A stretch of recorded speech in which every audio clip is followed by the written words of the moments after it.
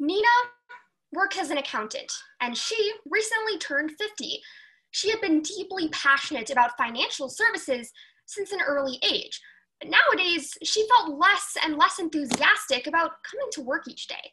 She felt less inclined to meet up with her coworkers for lunch or other recreational activities after work. In the past, she has always made an effort to maintain her health and appearance, but nowadays she felt less reason to bother.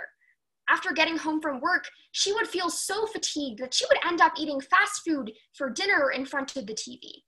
Nina would ignore invitations from her friends to socialize and have fun. While on the phone with a friend who was worried about her behavior, Nina simply replied, It might be some sort of a midlife crisis. But what if it wasn't just a midlife crisis? What if there were 16.2 million people in the United States who may have experiences like Nina's? What if people like Nina could be our acquaintances, our friends, or our family? Nina is a fictional character, but she represents someone that I care about. She represents one of my loved ones who suffers from a mental disorder. Today, my aim isn't to cultivate sympathy. My aim is to cultivate change. So today, let's first learn more about people like Nina.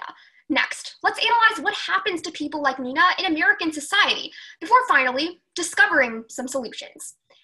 But firstly, let's learn more about people like Nina. Nina suffers from depression, but mental illnesses are varied in type and severity of symptoms. Conditions like schizophrenia and bipolar disorder tend to be the most severe, while more common mental health conditions include obsessive compulsive disorder, or OCD, and anxiety disorders. Furthermore, the National Alliance on Mental Illness explains how it's likely that nearly one in every five Americans suffers from a mental health disorder. That's 46.2 million people. Now, many people believe that these kinds of disorders can result in drastic sci fi movie like symptoms, but some individuals with mental illness lead lives relatively similar to the rest of the American population. People like Demi Lovato, Michael Phelps, and Brooke Shields all suffer from a form of mental illness, but they achieved immense success in their lifetimes despite this. In fact, mental illnesses can even contribute to these successes. Many individuals with bipolar disorder, for example, turned out to be very successful entrepreneurs later in life. This might be due to the fact that people with bipolar disorder tend to be more creative and innovative than other individuals. But remember, there's a reason why Nina is fictional. There's a reason why so many individuals who struggle with mental illness hesitate to go to the doctor. The answer is stigma. Now you might be wondering, what exactly is this stigma? Well, the character of Anna from the book Because of Mr. Terupt puts it best. She explains how a stigma is similar to when you can see a group of people standing in a circle and holding hands. But you aren't able to join that circle and link your arms with another person. You are ostracized, left behind. Let's take a trip back in time to understand the origins of the mental illness stigma. In fact, the history of the stigma can be traced back to the Middle Ages, when mental illness was considered to be a punishment from God. Sufferers were thought to be possessed by the devil and were kept in prisons and madhouses. Lobotomies, or incisions into the skull, were very common. And later, in the 1940s, during Hitler's regime, we saw that almost 275,000 psychiatric patients were slaughtered because of their illness. Unfortunately, the strength of this stigma has definitely not dwindled in recent years. At an early age, we have all been taught to use words like OCD and depressed without understanding their true meaning. You organize your things in such a particular way. You're so OCD. Oh no, I missed the Taylor Swift concert. I'm so depressed. We throw around these adjectives so often in our daily lives, and yet we forget to realize that there are 450 million people around the globe who actually suffer from these kinds of mental illnesses every single day. But why? Why do we do this? The answer is actually quite simple it's fear. And societal influence compounds this fear, solidifying it into an inherent difficult to change bias.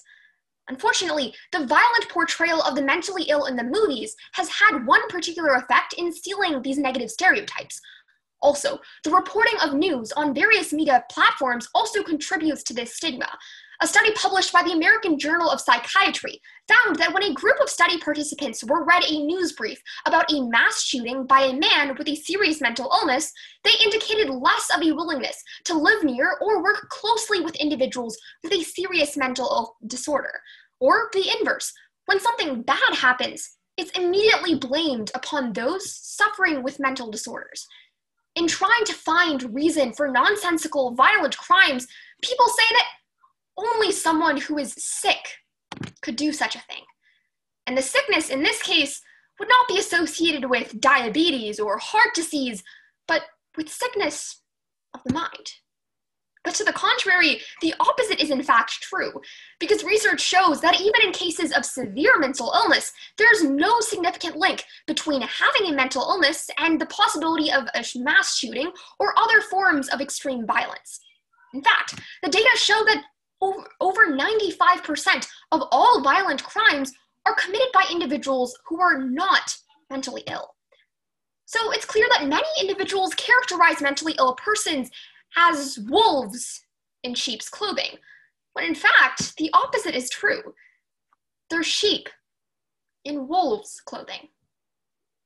But why does all of this matter? Well, according to Mental Health America, there are more than 40 million Americans who currently suffer from mental illnesses. One out of every five individuals will not receive the treatment they need because they're too afraid to experience the stigma. Researchers at King's College London examined data from over 90,000 participants from across the globe and found that the stigma surrounding mental illness was one of the most primary reasons why people didn't seek treatment. At the end of the day, it's easy to say that my child broke her leg, my blood pressure is skyrocketing, oh, my father is diabetic, or even I'm suffering from gonorrhea. But talking about your mental illness is not acceptable. For example, Brooke Shields, an American model and actress, was diagnosed with postpartum depression. She explains how, quote, if I had been diagnosed with any other disease, I would have run to get help. I would have worn it like a badge. But I didn't. Unfortunately, like most other institutionalized issues in America today, it's impossible for me to tell you all some neat little acronym or catchphrase that you should adopt in your lives, click your heels three times, and magically arrive in a land free of stigma. However, I will say this one of the most important steps that we can all take towards mitigating this stigma is to simply have conversations. There is evidence that individuals who are more informed about mental illness are less stigmatizing than individuals who are misinformed. We can all talk and listen. We can replace those awkward silences with words of support. We can all spread the word that mental illness is usually simply the result of an imbalance of a chemical in the brain and many of these illnesses can easily be treated with medications. Express your support for organizations such as NAMI or the National Alliance on Mental Illness through NAMI walks or awareness campaigns. But in addition to this, Sherry Harding, a mental health expert and professor of nursing at Regis College in Massachusetts, notes that awareness of language is essential. We are all guilty of being imprecise or hyperbolic at times, but it's important to avoid misusing this language we can all try and decrease the frivolous use of words like hyper, sicko, or OCD.